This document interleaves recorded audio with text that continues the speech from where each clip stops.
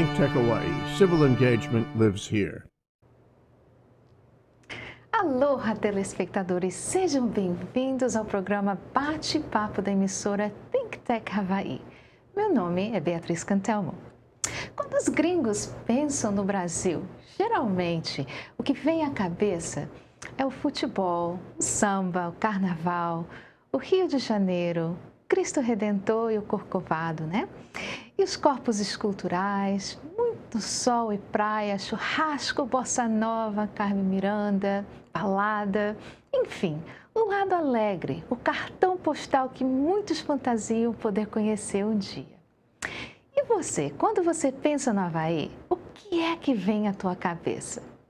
O que, que é sinônimo de Havaí para você? Bom, hoje nós temos um programa muito especial, mas antes de começarmos, nós vamos cobrir um pouquinho é, da cultura do Havaí, né? Porque para compreender o Havaí, em muitos aspectos da identidade dos havaianos, é necessário compreendermos histórias desse lugar, o legado da dinastia do Reino do Havaí, que foi criada pelo rei Kalakaua e que terminou de uma forma drástica com a sua irmã sucessora, a rainha Liliuokalani. É isso aí, o Havaí teve um reinado de dinastia, você não sabia? Muita gente não sabe, assim como muita gente não sabe que os Estados Unidos têm dois palácios royais e que eles ficam aqui no Havaí. O Palácio Huli'ke'e, que fica em Kailua Kona, no Big Island, e o Palácio Yolana, que fica no coração da capital do Havaí, no centro da cidade de Honolulu, na ilha de Oahu. Esse palácio é um tesouro mundial e patrimônio para os havaianos, por ser considerado o epicentro cultural, físico e espiritual do estado. Então, antes de falar do Palácio Iolani, nós vamos cobrir os detalhes bem básicos da história do Havaí. Os primeiros habitantes desse paraíso foram nativos polinésios, que viviam no arquipélago havaiano por muito tempo antes da chegada dos primeiros europeus. As atuais é, nativos havaianas são descendentes de polinésios que chegaram à região há alguns milhares de anos, né? Vindos de outros arquipélagos do sul. Segundo registros, tais arquipélagos eram chamados de Riva, um outro grupo polinésio vindo de Tahiti desembarcou no arquipélago havaiano em cerca de, mil, de 700, anos 700. Esse grupo trouxe uma cultura diferente para cá: tambores, plantas, uma outra religião e outros chefes. Antes da chegada do, dos primeiros europeus, em 1778, os nativos do Havaí viviam numa sociedade altamente organizada e autossuficiente baseada no arrendamento de terras comunais, possuindo, é, possuindo um sofisticado idioma, cultura e religião. Não teve jeito. Infelizmente, a descoberta europeia acabou acontecendo no Havaí também. E um dos primeiros exploradores europeus a desembarcar nas terras havaianas foi o explorador britânico James Cook, no dia 18 de janeiro de 1778. De acordo com a página do governo regional dos Açores, já no século XVI, as ilhas Havaí foram avistadas por um navegador português ao serviço de Castela. Está documentada uma viagem no Pacífico por João Gaetan em 1542, que batizou as ilhas de Mesa, tendo como Perus identificado as ilhas do Havaí. O descobrimento por Juan Gaetan também foi reconhecido pelo geógrafo português Casado Giraldes em 1825. Cook, que é acreditado com a descoberta do arquipélago por ter sido o primeiro a registrar oficialmente a descoberta, bem como primeiro a fornecer as suas coordenadas geográficas, nomeou o arquipélago de Ilhas do Sanduíche, em homenagem ao Duque de Sanduíche, um lorde britânico é, nome esse que ainda é utilizado em alguns atlas. E graças à descoberta e à posição geográfica do arquipélago do Havaí, esse tornou-se um ponto de escala frequente de navios europeus fazendo longas viagens transpacíficas. Doenças contagiosas causadas por micróbios, transportados pelos marinheiros europeus e com as quais os nativos locais nunca tinham tido contato, mataram dezenas de milhares de nativos polinésios na, regi na região e ao longo do, do, do século XV. Minto. É, século XIX. Antes da chegada dos europeus, o arquipélago havaiano estava fragmentado e uma série de tribos governadas por um chefe indígena. Algumas ilhas eram governadas por uma única tribo, enquanto que outras eram ocupadas por tribos diferentes. Tais tribos polinésias batalhavam entre si, normalmente depois da morte de um chefe. Em 1782, um líder indígena, Kamehameha, iniciou uma longa guerra que duraria 13 anos contra os outros chefes da região e outras ilhas. Auxiliados por armas modernas comercializadas com os navegadores e comerciantes europeus, os americanos que utilizavam a ilha como escala em suas viagens, Kamehameha uniu todo o arquipélago, com exceção das ilhas de Kauai e Niihau, em 1795. E Kamehameha comandou duas invasões contra estas ilhas, em 1796 e em 1803, que fracassaram devido a uma rebelião e uma epidemia, respectivamente. Enquanto isso, Kamehameha insistiu em um sistema de administração política baseada em padrões de governo do Ocidente. Kamehameha instituiu uma monarquia no Havaí e apropriou-se de todas as terras do arquipélago, cedendo lotes de terras para famílias rurais. Cerca de 15 anos depois, em 1810, Kauai e Nihau concordaram em unir-se pacificamente ao reino de Kamehameha. A dinastia Kamehameha governaria o arquipélago até 1872. Ao longo do século XIX, eh, a economia do Havaí prosperaria e com a venda de madeira de alta qualidade para a China até a década de 1830 e com a venda de água potável e suprimentos para navios, fazendo viagens do Oceano Pacífico desde a década de 1820, com a venda de cana-de-açúcar até 1830 e de abacaxis na década de 1880 em diante. O filho de Kamehameha, Kamehameha II, tornou-se o monarca do arquipélago havaiano em 1819.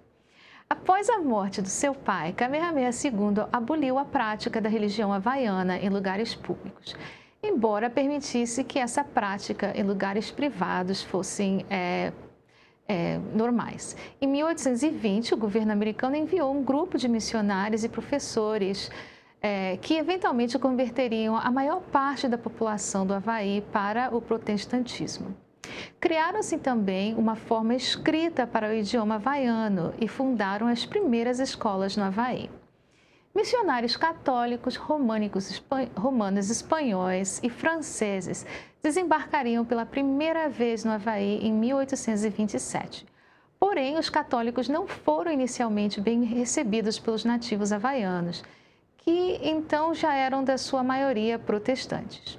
Em 1831, os havaianos forçaram a pequena população católica de descendente europeia a seguir do arquipélago, enquanto que os católicos de origem havaiana foram, a sua maioria, presos. Cinco anos depois, em 1836, uma fragata francesa bloqueou o porto de Honolulu e obrigou Kamehameha II a liderar os católicos aprisionários e permitir que a liberdade de expressão religiosa fosse é, praticada. Um outro filho de Kamehameha, o rei Kamehameha III, criou a primeira Constituição do Havaí em 1839 e um sólido governo central composto pelos poderes executivo, legislativo e judiciário. O governo americano reconheceu o Havaí como um país independente, mas desde a década de 1850 em diante, o Havaí começou a receber centenas de imigrantes asiáticos por ano. Inicialmente, os chineses foram os, os principais imigrantes. A imigração chinesa ao arquipélago data de 1789, embora essa imigração tenha sido mais forte é, de 1815 até o princípio do, do século XX. Posteriormente, na década de 1860, grandes números dos polinésios instalaram-se no Havaí. Em meados da década de 1880 até a década de 1930, grandes números de japoneses instalaram-se no Havaí. A imigração portuguesa, mais concretamente dos Açores e da Madeira, também se fez sentir com muita força por aqui. Essa comunidade dedicou-se ao cultivo de cana-de-açúcar, misturando vasto patrimônio cultural aos costumes do, do povo do Havaí. E apesar de já não se falar português no Havaí, muito da culinária das ilhas tem traços portugueses. A existência de diversos nomes da família atesta a origem de muitos imigrantes oriundos de todo Portugal, em particular as ilhas. Boa prova disso reside na existência de ukulele, descendente direto do cavaquinho. E então, em 1874, Kalakaua tornou-se o rei do Havaí. Ele promoveu os costumes e a cultura havaiana entre a população nativa. Porém, a população do Havaí, especialmente agricultores, não gostavam dos laços políticos e econômicos que Kalakaua tinha com o governo e comerciantes americanos. Entre outros atos, Kalakaua permitiu que os americanos construíssem uma base naval em Pearl Harbor, e Kalakaua foi obrigado a criar uma nova constituição em 1887 que limitava seus poderes. Quando Kalakaua morreu, a sua irmã, a Liliuokalani, tornou-se a rainha do Havaí. E a Liliuokalani apoiava a população havaiana em seu descontentamento contra a população dos nobres estrangeiros ou de descendência europeia. Porém, à época, comerciantes e agricultores americanos já controlavam muito da economia do Havaí. Em 1893, uma invasão, tropas americanas e grupos militantes liderados por norte-americanos, alemães e britânicos tomaram o Havaí e depuseram Licolani. A invasão norte-americana causou grande descontentamento entre a população do Havaí que fez que o próprio presidente americano da época, Grover Cleveland, aconselhasse que a rainha tivesse o seu trono de volta. Tanto Liliuokalani, que recusou perdão publicamente aos líderes dessa invasão, quando os principais líderes dessa invasão recusaram, é, foi a última monarca do arquipélago. Ainda em 1894, uma república foi instituída, com o americano Sandor, Sandor, é, Sandor, é, Dole sendo presidente. A República foi abolida em 1898, quando uma parte do Congresso do ZEUA também criou uma resolução conjunta que é usada especificamente e internamente como um meio de adquirir o Reino do Havaí, com seu novo território em agosto de 1898. E no dia 14 de julho, junho de 1900, o Havaí tornou-se um território dos Estados Unidos. Então, é, essa é a história a, bem básica, assim, resumida do Havaí. Nós vamos tomar um break rapidinho e depois nós vamos ter uma convidada muito especial para conversar com a gente. Alright, let's take a quick break and we'll be right back. Hi, I'm Pete McGuinness-Mark, and every Monday at 1 o'clock, I'm the host of Think Tech Hawaii's Research in Manoa. And at that program, we bring to you a whole range of new scientific results from the university, ranging from everything from exploring the solar system to looking at the Earth from space, going underwater, talking about earthquakes and volcanoes, and other things which have a direct relevance not only to Hawaii, but also to our economy. So please try and join me, 1 o'clock on a Monday afternoon for Think Tech Hawaii's Research in Manoa. And see you then. And aloha, my name is Calvin Griffin, the host of Hawaii in Uniform. And every Friday at 11 o'clock here on Think Tech Hawaii, we bring you the latest and what's happening within the military community. And we also invite all your response to things that's happening here. For those of you who haven't seen the program before, again, we invite your participation. We're here to give information, not disinformation, and we always enjoy response from the public. But join us here, Hawaii in uniform, Fridays, 11 a.m., here on Think Tech Hawaii. Aloha. Aloha, telespectadores, essa é a Beatriz Cantelmo. Sejam bem-vindos à segunda parte do bate-papo Aloha da Think Tech Hawaii. E agora nós temos uma convidada muito querida, a brasileira que não fala português, a Marcia Joyner. Uh, so I will do this part of the program both in Portuguese and in English because uh, Marcia is a lovely lady from Brazil and she'll tell you all about that, but she does not speak English. I'm sorry, she does not speak Portuguese. And, uh, but her wisdom And uh, her knowledge of Hawaiian culture is so special that I could not uh, help but to have her with us. Seja bem-vinda. Welcome. Aloha. Aloha, Marcia. Uh, Marcia, for our viewers, tell us a little bit about where exactly are you from in Brazil? Para é, os nossos telespectadores que não sabem, eu perguntei a, a Marcia é, para explicar de onde que ela é e que tipo de Brasil que daí que ela nasceu. Okay. Brazil, Brazil, spelled with a Z, Brasil, é, soletrado com Z, is on, it's a little dot on the map. And it's on the Dairy Queen on Route 40 in Indiana. e é um pedacinho no mapa dos Estados Unidos lá em Indiana. então, so you are uh, Brazilian Brazil, Indiana. from Indiana. Yes. Ela é brasileira do estado de Indiana, dos Estados Unidos. So, how was it growing up and telling people you're from Brazil? Como é que foi essa história de conversar com as pessoas e falando, ah, eu sou do Brasil? Well, I didn't really think much of being from Brazil until I gradu- got ready to graduate from high school. And they told me that I needed my naturalization papers. É, então ela disse que quando ela estava crescendo, ela não pensava muito no fato dela ter sido nascida e criada no Brasil, Indiana, até ela se formar no segundo grau. E a escola dela pediu para os documentos dela, porque é, supostamente eles acharam que ela era do Brasil, país, não de Well- Indiana. Indiana. But I, we didn't live in Brazil. I was just born there. We moved in 1941, and then we lived in Hawaii and Guam and Saipan, and you know, in moving all those different places. So, and then I was in the convent, and so by the time I got ready to graduate, the papers, you know, had moved and moved and moved, and at some point somebody left off Indiana. It was just Brazil.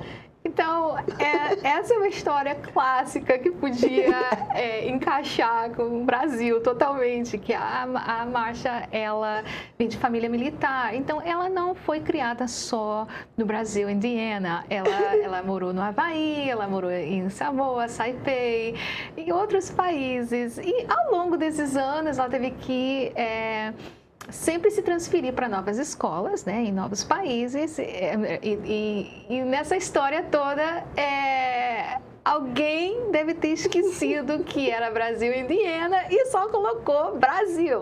Então, é compreensível, né? Marsha, how old are you now? 80.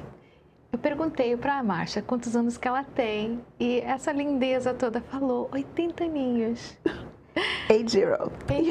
80, 80. Então, Márcia, Marsha, né, em inglês. And I uh, wanted to have you here. Well, one because we're both girls from Brazil. Even if it's spelled different. Yes. É, Eu falei para ela, eu queria convidá-la para vir para cá, porque nós duas somos né, do Brasil, garotas do Brasil, sendo que uma com Z, né, em um estado e outra do país. É, but I, I wanted to um, uh, get your mind about what does Hawaii uh, mean to to you when you think about Hawaii, and to also talk a little bit about um, our history.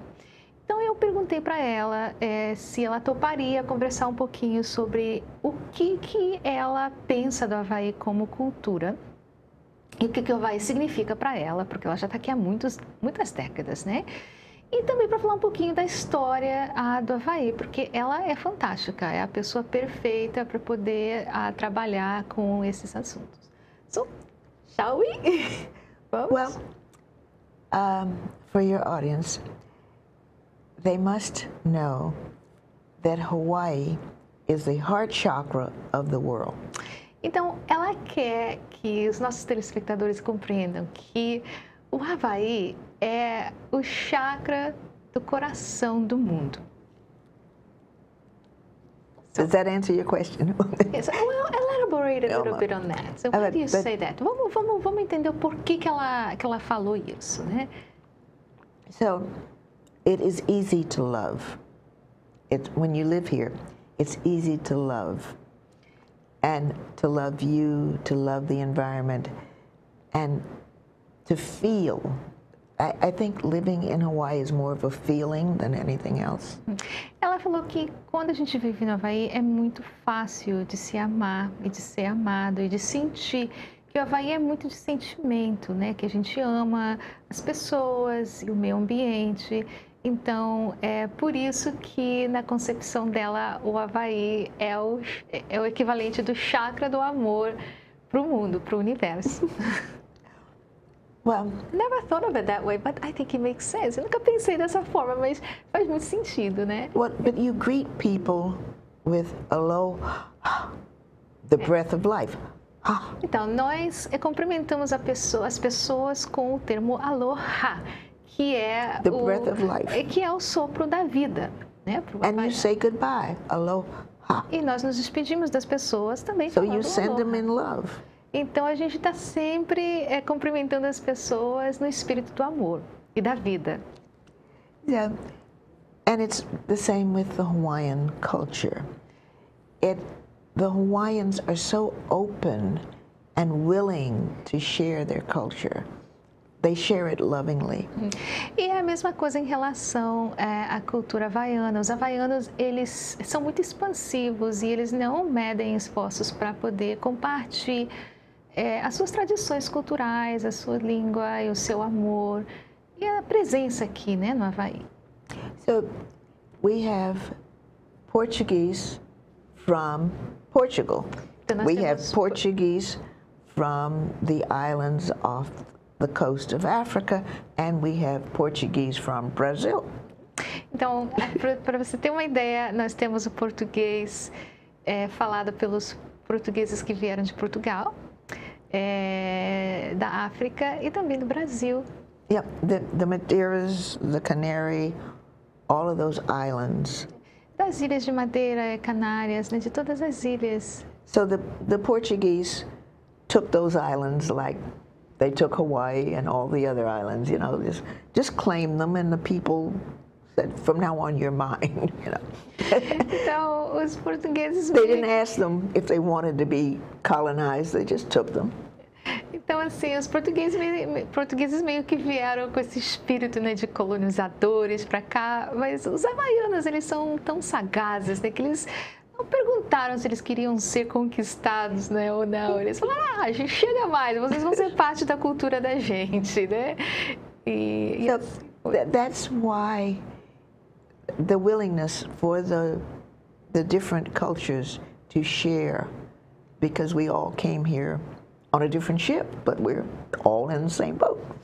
Então, eu acho que parte, né, pela parte dela, que é, por que, que o Havaí é tão é, receptivo às pessoas é que, de uma forma ou outra, todos nós que estamos aqui agora e nossos antepassados chegaram em um navio diferente, mas chegamos da mesma forma. Now, with the Hawaiian culture, it's so varied because each island had their own culture. For instance, the island of Niihau is the one island that is still is most original, and it's up at the very top of the mountain of the map, just off the coast of Kauai.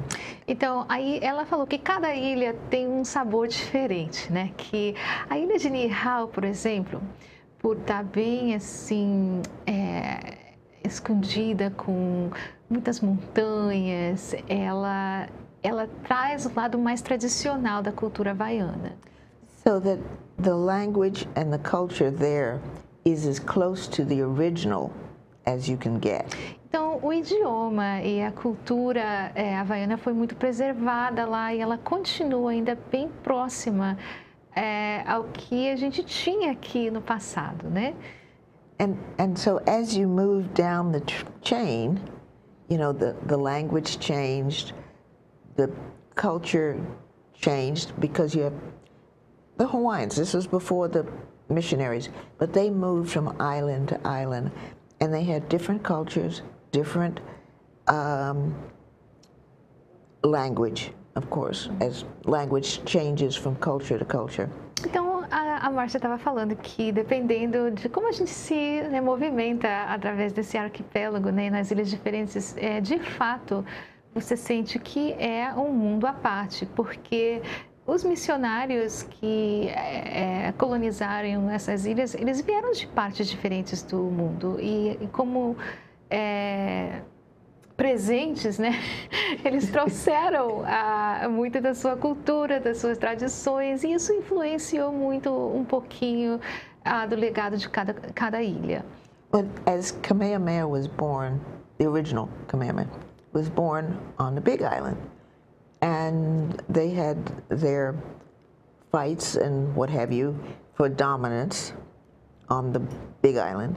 And then as he did conquer and moved to the next island, which was Maui, and then stayed there a while and conquered that one, and then to Oahu.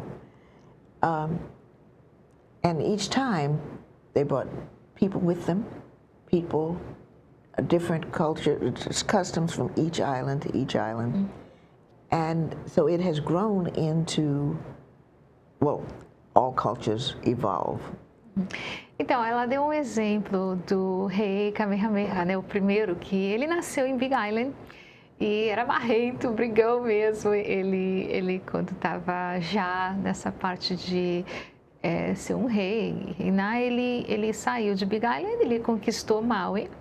E depois que ele conseguiu conquistar Maui, ele veio para a ilha de Oahu e ela estava falando que é, à medida que essa transição e conquista entre ilhas iam ah, crescendo, que essa mistura também né, de é, pessoas de várias ilhas começaram também a se fortalecerem por aqui. Né? So it's, it is really um, difficult, I guess, to put all of this into this little bit of time to really talk in depth about the culture and the changes, but it was under Kamehameha's rule that the missionaries showed up and things began to really change. The, the change from one, one Hawaiian island to the next was minuscule compared to what happened once the missionaries arrived. Então, é, é, a gente tem muito pouco tempo, né? E ela realmente ela, ela sacou. e é verdade que é muito pouco para poder começar a aprofundar a, e conversar sobre essas mudanças né, que o Havaí passou. É, e ela falou que realmente através é, das mudanças né, ao longo dos anos, que o que foi mais profundo para Havaí, né, que realmente revirou tudo, foi a chegada dos missionários. Então nós vamos convidar ela a algum ponto, né, nesse futuro bem próximo, para vir fazer um passeio no Palácio de Iolani e a gente conversar um pouquinho mais com essa brasileira de Indiana, né? So uh, I can't believe we are out of, out of time. time. So we'll have but, to we'll I, have to do part two yes. the next oh, time. absolutely. I will invite you to do a tour as a, a, Brazilian lady from Indiana uh, in the near future to the Yolani Palace. Okay. And uh, we can do that. yeah, I would like to finish our program. Okay, we can do can, that. If you can do a little bit of our Aloha a song to our. Uh, uh no. Uh, viewers, no. No. If I sing, they won't. They won't let me come back. No. No, no, no, no. Pedi Do your poem. ela ajudar a gente a terminar o show cantando uma música muito bonita do Havaí, que é uma despedida, né? Que é o Aloha Oi. Mas ela é, ficou, tremeu na base. Então, é, a gente termina por aqui hoje, mas voltaremos brevemente e até então, arroi ho! And this concludes uh, our episode of Bate-Papo Brasileiro. Aloha! Aloha!